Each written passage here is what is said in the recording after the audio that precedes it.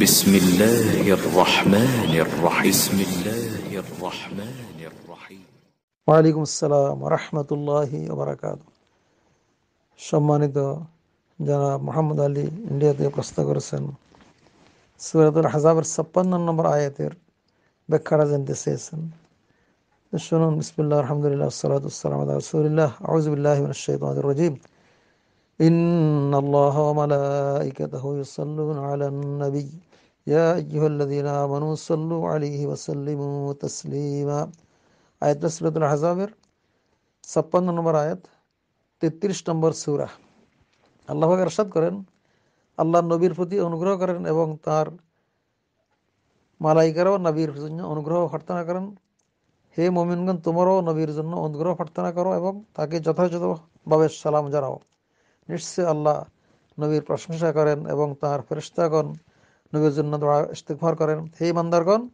তোমারও নবীর উপর সালাত পাঠ কর এবং তাহাকে যথাযথভাবে সালাম জানাও। আরবি ভাষায় সালাদ শব্দের অর্থ রহমত, দোয়া। দোয়া, রহমত মানে রহমত মানে অনুগ্রহ, দোয়া প্রশংসা। অধিকাংশ আয়াত আল্লাহ তালার পক্ষ থেকে তার নবীর প্রতি যে সালাদ সম্পৃক্ত করা হয়েছে, এর অর্থ আল্লাহ নবীর প্রশংসা করেন, তার কাজে তার কাজে বরকত দেন। তার নাম বুলন্দ করেন উৎসাহ করেন, তার প্রতি নিজের রহমত, রহমতের বাড়ি বর্ষণ করেন। ফেরস্তাদের পক্ষ থেকে তার উপর সালাদ প্রেরণার অর্থ হচ্ছে তারা তাকে চরমভাবে ভালোবাসেন এবং তার জন্য আল্লাহর কাছে দোয়া করেন। আল্লাহ যেন তাকে সর্বাধিক উচ্চ মর্যাদা দান করেন, তার শরীরকে প্রসার ও বিস্তৃত দান করেন এবং তাকে সর্বোচ্চ প্রশংসিত স্থানে পৌঁছিয়ে দেন। তার উপর রহমত নাজিল করেন। আর সাধারণ মোমিনদের তরফ থেকে সালাদের অর্থ দোয়া ও প্রশংসার সমষ্টি। এতের তফসিরে আবুল আলী রাহেমাহুল্লাহ বলেন, আল্লাহ তালা আল্লাহ তালার সালাতের অর্থ আল্লাহর কর্তৃক ফেরেস্তাদের সামনে রসুল্লাহ সাল্লাহ আলি সাল্লামের সম্মান ও প্রশংসা করা, এক অর্থ সালাতের। সহি বুখারি, কিতাব তফসির। আল্লাহর পক্ষ থেকে রসুল সাল্লাহ আলি সাল্লামের সম্মান দুনিয়াতে এই যে, তিনি ফেরেস্তাদের কাছে তাহার কথা আলোচনা করেন, তাছাড়া তার নামকে সমুন্নত রাখা করেন, তিনি পূর্ব থেকে তার নাম সমুন্নত করেছেন, ফলে আজান, একামত ইত্যাদিতে আল্লাহ নামের সাথে সাথে তার নামও সামিল করে দিয়েছেন।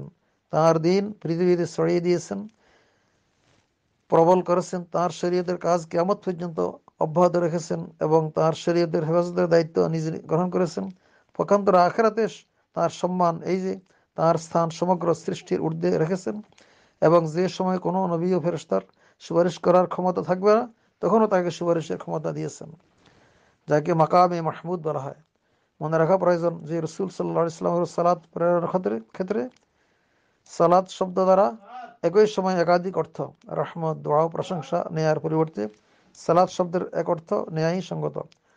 অর্থাৎ রসুল সাল্লা ইসলামের সম্মান, প্রশংসা ও শুভেচ্ছা।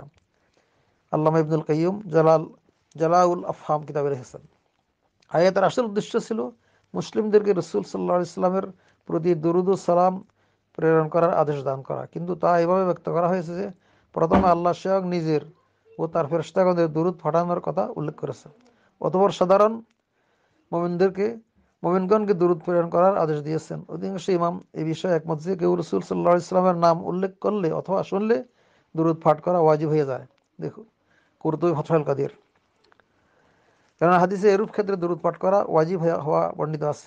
রসুল সাল্লাহ ইসলাম বলেন সেই ব্যক্তি অপমানিত হোক, যার সামনে আমার নাম উচ্চারণ করা হয়, হলে সালাদ পাঠ করে না। তিরমিজি তিন হাজার পাঁচশো পাঁচচল্লিশ হাদিস।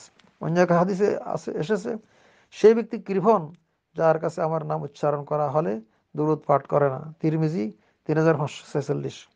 নবী সাল্লা ইসলাম ছাড়া অন্য, অন্যের জন্য সালাদ পেশ করা জায়েজ কিনা এ ব্যাপারে ওলামা একরামের মধ্যে মত মতপার্থক্য রয়েছে।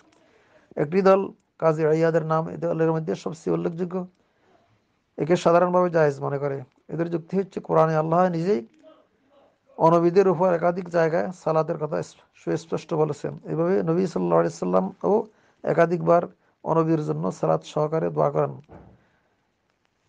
হাজামা আন্দি আল্লাহ আলম